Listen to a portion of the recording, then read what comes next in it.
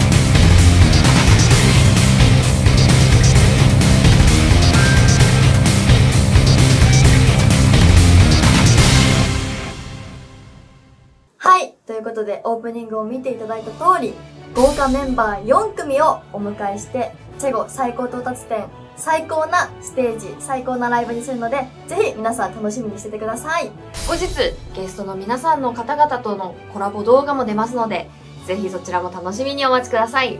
と真帆は個人的にと吉田凛音さんが狼くんに出ている時から見ていて吉田凛音さんの曲も個人的に聴いていたのであのチェゴのワンマンライブに出演してくださることも一緒のステージに立てることもとても光栄です。私たちも気合を入れてさらに頑張ろうと思いました。はい、私はパワーパフボーイズさんがすごく好きで、もう「ハビットの振り付けをしたりとかあとあのさんの振り付けをいっぱいやられていてで私個人的にダンサー時代カン君と知り合いが出しているダンスのナンバー発表会で同じステージ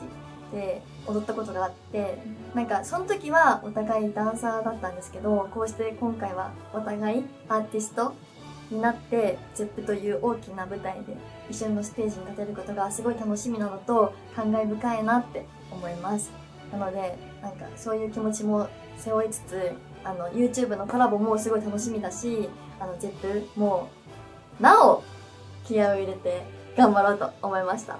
はい。私は高校生の頃めちゃくちゃ K-POP 好きで見ていて、でその時にヒョクさんの動画をめちゃくちゃ見ていて池袋で対バンライブさせていただいた時にヒョクさんもアーティストさんとして出ていらっしゃっていてで軽くご挨拶の方もさせていただいたんですけれども本当にお人柄がすごく素敵な方で高校生の頃から YouTube やる前から見ていた方と ZEP で一緒に同じステージに立てるっていうことが本当にとても光栄です。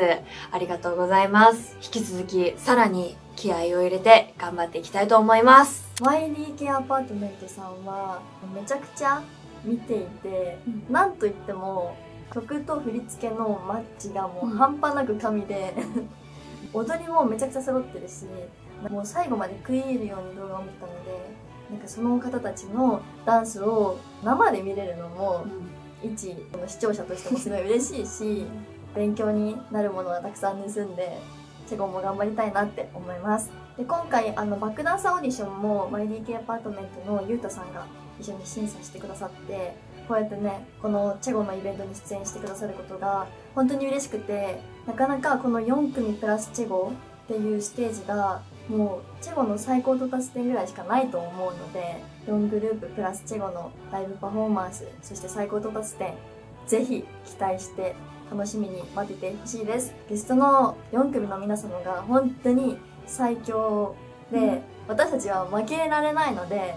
それも含めてあのゼッペに向けても約2ヶ月間ぐらいあるんですけども気を落とさずにエンジン全開でこれからライブ活動もゼッペに向けても YouTube もダンス動画も全部頑張りますのでこれからも応援よろしくお願いしますよろしくお願いします。そして今回オーディションを合格して私たちと一緒に踊ってくれるバックダンサーの皆さんはこの23名の方たちですいやもう本当に12月12日、ゼップワンマンに向けてめちゃくちゃ気合い入れて挑んでいます。このオーディションのメンバーの方々と、そして豪華なゲストさんもお迎えしておりまして、私たちの最高到達点、今までにないほどのパフォーマンスを見せます。そのために本当に色々と動いていますので、ぜひ12月12日は期待して待っててほしいです。で、今、PG 先行中なので、概要欄の方からチケット購入できます。ぜひ皆さん、よろしくお願いします。ゼップのチケットが一番安くて2000円からで楽しめるので、絶対に後悔させないので、今本当に3人で、いや、みんなで頑張ってるので、絶対に迷ってる方がいたら、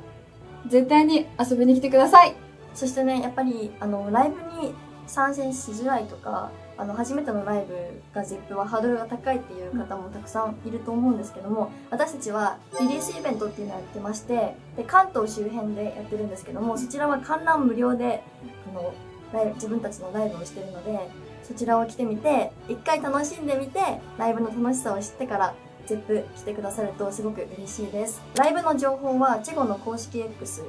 に載ってるのでそちらからカレンダーチェックして